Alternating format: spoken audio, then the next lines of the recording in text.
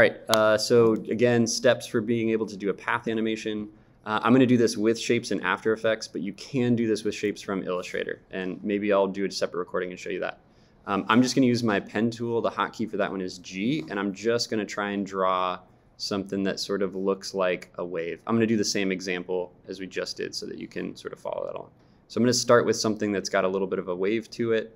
I don't want this to be an outline. I do want it to be a fill. So I'm going to click into my contents here. I'm going to go down underneath shape. I'm going to turn off the stroke and I'm going to turn on the fill.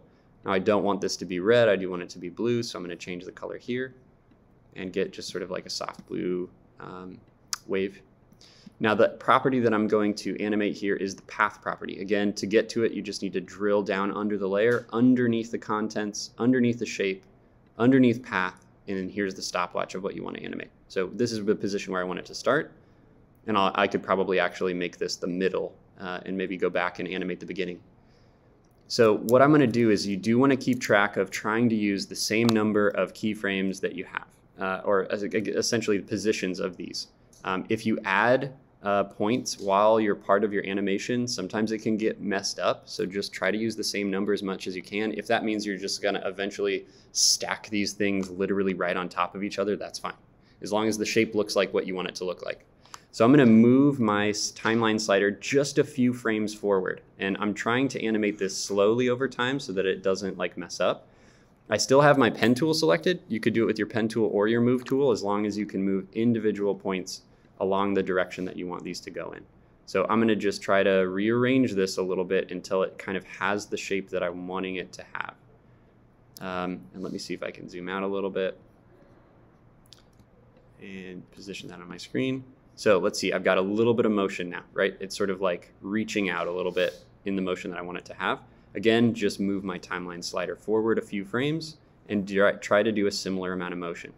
Now the only issue with animating this way is if you want this to have a certain timing, uh, the timing can be kind of a little bit of a challenge because you're moving so many different points for every single keyframe. There's no like controlling each of these individually, if that makes sense. It's kind of like every single keyframe is just rearranging the entire shape every time you move anything.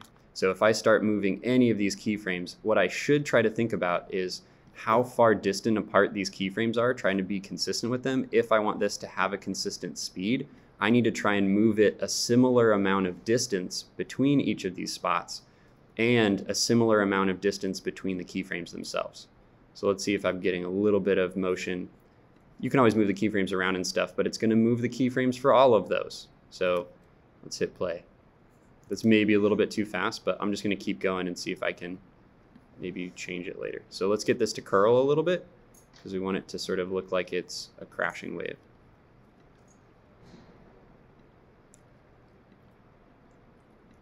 So again, path animations using the path feature only to sort of create, I, I, would call this like a fake rotoscope effect. So if you wanted something to look like it's sort of transforming itself, there's a lot of fun things that you can do with this to get it to kind of look like it has that particular motion.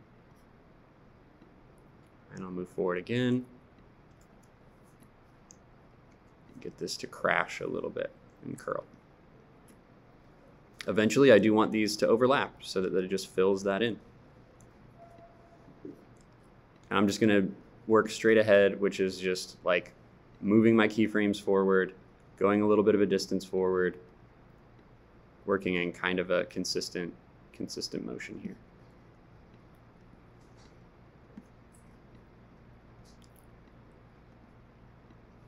Great way to add really articulated motion. I'm being very particular about where I want this to move to. It's great for like liquids clearly. Here's some of my keyframes that are starting to overlap each other. That's helpful to make it look like the object is just starting to fill in that space. I want it to maybe like shrink into a tiny ball and disappear. I don't know. Like what kind of motion do you want it to come out of the frame with? Um, let's curl this a little bit more. This wave is starting to shrink starting to crash backwards towards itself at the beginning. Shrink these properties a little bit more. Rolling back towards the beginning.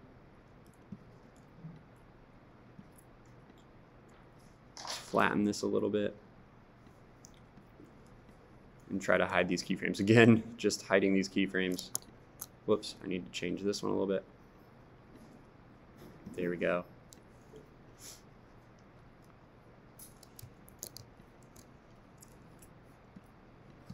Um, this is a common issue where you accidentally select the whole shape.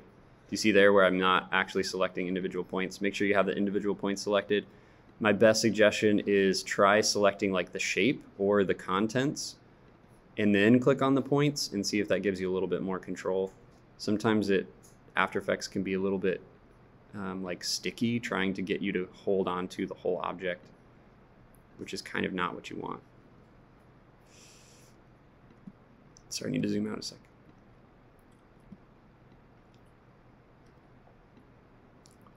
And I haven't tested this in a little bit. And actually what's probably going to happen is there's going to be a few places where this is messing up. Oh, it's going so far. Okay.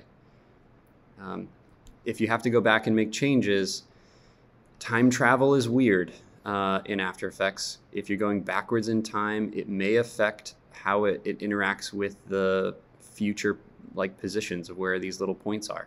So it may sort of like mess up your animation a little bit in that sense.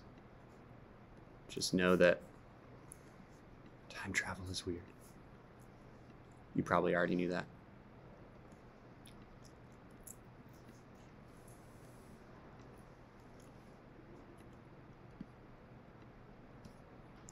And let me do a couple more, and then we'll call it good on this and I'll stop recording so that it's a super short, not 50 minute tutorial.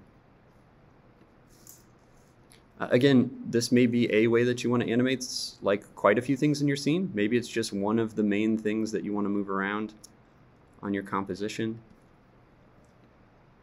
You can also copy paste these keyframes. So if I wanted this to like reverse the other direction, I could like reverse my keyframes by copy pasting them uh, these are all things that can be reused. So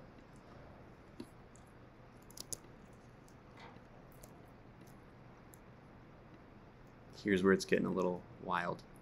I'm trying to avoid adding keyframes. I'm trying to avoid taking keyframes away because that does mess it up sometimes.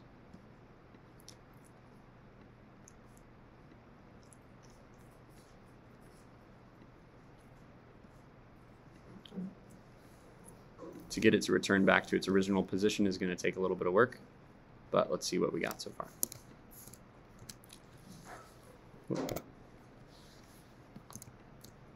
Sorry, zoom out. Kind of fun. It's a little rigid, right? It's got a few places where it's not perfectly smooth, but path animation.